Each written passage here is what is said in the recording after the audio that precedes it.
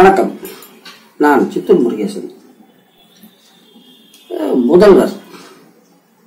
ஒரு முதல்வர் அலுவலகத்துக்கு மக்கள் மனு அனுப்புறாங்கன்னா அங்க வந்து நிர்வாகம் சீர்கெட்டு போயிருக்குன்னு அர்த்தம். முதல்வர் அலுவலகம் வரைக்கும் மனு போகுதுனாலே அது ஒரு கேவலம். சரி. ஒரு மனுவானது முதல்வர் தனிப்பிரிவுக்கு போயாச்சுன்னா இன்னும் எந்த இன்ஃப்ளூயன்ஸும் வேலை செய்யாது. என்ன? இந்த கீழ் மட்டத்தில் எஸ்ஐயோ இல்லை தாசில்தாரோ இல்லை கலெக்டரோ யார் அக்கிரமம் பண்ணியிருந்தாலும் அதை ஓவர்லுக் பண்ணி நியாயம் நடந்துடும் அப்படின்னு ஒரு மித்து இருக்கு. ஒரு மாயா. முதல்வர் என்பவர் அவருக்கு கண்களும் காதுகளும் கைகளுமாக இருக்க வேண்டியவங்க முதல்வர் தனிப்பிரிவு அதிகாரிகள். அஞ்சு பேர்லாம் ஒரே மாதிரி இல்லை. ஒவ்வொருத்தன் ஒவ்வொரு மாதிரி இருப்பான். அது நானும் ஏத்துக்கிறேன். ஆனால் ஒரு முதல்வர் தனிப்பிரிவுக்கு ஒரு அதிகாரியை வந்து போட்டுக்கிறாங்க. அப்படின்னா அந்த அதிகாரிக்கு ஏதோ சம் ஸ்பெஷல் இருக்கணும். கீழ்மட்டத்தில் அதாவது தாலுகா லெவல்லையோ டிஸ்ட்ரிக்ட் லெவல்லையோ பைசலாகாத மேட்ரு முதல்வர் பார்வைக்கு போயே ஆகணும் அப்படின்னு நினைக்கிற மேட்ரு தனிப்பிரிவுக்கு வரும். அதை கரெக்டாக ஐடென்டிஃபை பண்ணி தட்டி எடுக்கணும். அந்த டேலண்ட் இருக்கிறவங்க அந்த முதல்வர் தனிப்பிரிவில் இருக்கணும்.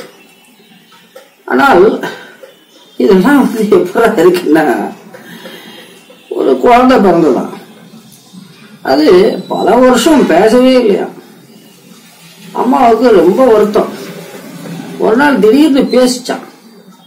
என்ன பேசிட்டான்னா அம்மா நீ எப்ப தாலியா இருப்ப? அப்படின்னு கேட்டுதான். அந்த மாதிரி இந்த முதல்வர் தனிப்பிரிவு. இது வந்து ஆயா உசுரோட இருந்தப்ப இந்த மாதிரி ஒன்று வந்திருக்கு. எப்ப நம்ம மோடி சாப் பிரைம் மினிஸ்டர் ஆனார் பாருங்க. நூறாவது நாளுக்கு அப்புறம். இதே மாதிரி நதிகள் இணைப்பு அதை மட்டும் அந்த ஒரு வார்த்தையை எடுத்துக்கிட்டு அதுக்கு ஏதோ விளக்கண்ணையில் குண்டி கழுவுன மாதிரி ஒரு பதிலை போட்டு அனுப்பியிருந்தாங்க. அதோட இன்னைக்கு பதினாறு வருஷம் கழிச்சு பதினாறா? ஆறு வருஷம் கழிச்சு. என்ன கருமம் இதெல்லாம்? இப்போ நாம வந்து ரேஷன் கார்டு கேட்டோ இலவச வீட்டு மனை பட்டா கேட்டோ போடல. இப்ப எனக்கு வந்து தமிழ்நாட்டு ஓட்டர் லிஸ்ட்ல பேர் கூட கிடையாது. எனக்கும் தமிழக அரசியலுக்கும் சம்மந்தமே கிடையாது. நான் தப்பு தப்புன்னு சொல்றேன் அவ்வளவுதான். ஒய்யால கஜானா காத்து வாங்குது. சென்ட்ரல்ல வர வேண்டிய ஃபண்டை கேட்டு வாங்க தம்பு கிடையாது தாக்கத்து கிடையாது. எல்லாத்துலேயும் ஊழல். எல்லாத்துலயும் கமிஷன் எல்லாத்துலயும் கரப்ஷன் சரி. இந்த இது வந்து இன்னைக்கு நேற்றுக்கு கிடையாது. ஆத்தா காலத்திலேயே ஸ்டார்ட் ஆத்தா காலத்திலேயே ஸ்டார்ட் ரெண்டாவது முறை. ரெண்டாவது முறையா? முத முறை தான் நினைக்கிறேன். சிஎம் ஆகி ஒரு வாரம் பத்து நாள்லயே டிவியில் வந்து கசப்பான மருந்தை கொடுக்கிறேன் அப்படின்னு. கரண்ட் சார்ஜ் பஸ் சார்ஜ் பால் விலை எல்லா கருமத்தையும் ஒரே அடியில ஏற்றி விட்டுருச்சு ஆத்தா. அதுதான் நிலைமை. அதுதான் நிலைமை. நாம வந்து இந்த நிர்வாகத்தை கொஞ்சம் எளிமைப்படுத்தி நிர்வாக செலவை குறைச்சி மக்கள் மேல வந்து பாரம் சுமத்தாம மக்களை எக்ஸ்பிளைட் பண்ணாம அரசு வருமானத்தை எப்படி கூட்டிக்கலாம்? அப்படிங்கிறது எக்கானமி பேக்கேஜ் அப்படின்னு பஞ்ச் ஆஃப் சஜஷன்ஸ் இதை வந்து முதல்ல ஒரு டார்கெட் என்ன? ஆந்திரா தமிழ்நாடு தெலுங்கானா. இந்த மூணு ஸ்டேட் மேலே கான்சென்ட்ரேட் பண்ணுவோம். அப்படின்னு அனுப்பிக்கிட்டு இருக்கான். இப்போ தமிழா தமிழகம் அப்படிங்கிறது ரொம்ப கிட்ட. தொப்புள் கொடி உறவு இல்லையா? சரி ஒழிஞ்சு போட்டான். இருபது வருஷம் ஆகுது என்ன இருபது வருஷம் ஆகுது ஆட்டா இருபது வருஷத்துக்கு முன்னே பாவம் எலெக்ஷன்ல தோத்து விட்டு ரெஸ்ட் எடுத்து ரெஸ்ட் எடுத்து டயர்டாகி ரெஸ்ட் எடுத்து கார்டனுக்குள்ள முட்டை வச்சுக்கிட்டு இருந்தப்ப பயப்படாதீங்க. உங்கள் ஜாதகப்படி நல்ல காலம் வருது. நீங்கள் சிஎம் ஆவீங்க. அப்படி ஆகும்போது இதெல்லாம் இம்ப்ளிமெண்ட் பண்ணுங்க. அப்படின்னு அனுப்பி வச்சோம். இருபது வருஷத்துக்கு முன்னே ஆரம்பிக்குது. அங்கேருந்து மொய்யால் அது பெரிய கதை அது. அது சொன்னால் நீங்கள் வந்து வீடியோ ஆஃப் பண்ணிட்டு போயிடுவீங்க அக்ரஹாரா ஜெயிலுக்கு அனுப்பிச்சாச்சு அப்போலோ ஹாஸ்பிட்டலுக்கு அனுப்பிச்சாச்சு. என்ன இந்த சமாதியில தான் எடுத்து போய் வைக்கல ஒரு காப்பி. அவ்வளோதான் இருபது வருஷம். எடப்பாடியார் இவர் வந்து உக்காந்த பிறகு ரெண்டாயிரத்தி பதினேழு மார்ச்ல டூ ஹண்ட்ரட் காப்பீஸ் அனுப்புறேன்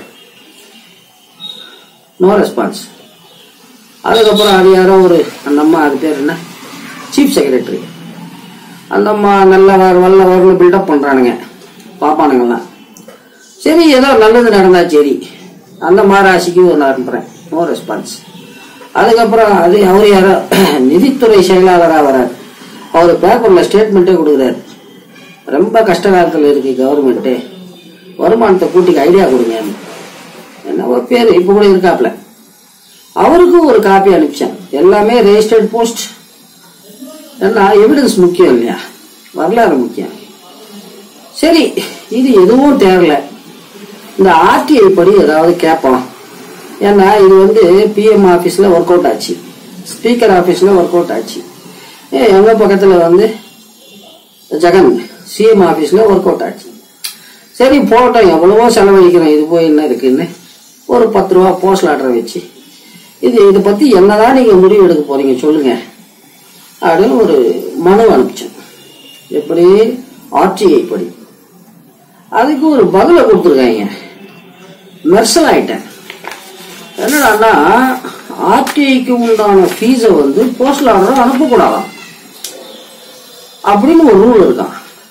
அப்போ அந்த ரூல் வந்து பிரைம் மினிஸ்டர் ஆஃபீஸில் தெரியலையா? இல்லை லோக்சபா ஸ்பீக்கர் ஆஃபீஸில் தெரியலையா? இல்லை எங்கள் பக்கத்தில் சிஎம் ஆஃபீஸில் தெரியலையா? இதில் கூத்து என்னடான்னா அந்த போஸ்டல் ஆர்டரை வந்து ரிட்டர்ன் பண்ணியிருக்கான். அது லெட்டரில் மென்ஷன் பண்ணியிருக்காங்க. போஸ்டல் ஆர்டர் காணும் வெங்காயம் காணும். சரி இருக்கட்டா இதில் காமெடி என்னடான்னா இந்த ஆர்டிஐ பெட்டிஷனை ஜென்ரல் பெட்டிஷனாக ட்ரீட் பண்ணி நிதித்துறைக்கு அனுப்பியிருக்காங்க. நான் வந்து அவங்கள தொடர்பு கொள்ளணுமா? ஒய்யால நிதித்துறை வந்து ஒழுங்கா வேலை பார்த்து வந்த காயத்தை பார்த்து பதில் கொடுக்குற நிலைமை இருந்தா ஆர்டிஐ படி கேட்க வேண்டிய கருமம் என்ன இருக்கு? ஆ? ரூல் போட்டு யோசிப்பாங்க போல. ஷபா வேண்டாண்டா சாமி. இந்த நாட்டை கடவுள் தான் காப்பாற்றணும் நன்றி வணக்கம். சித்தூரில் இருந்து முருகேசன்.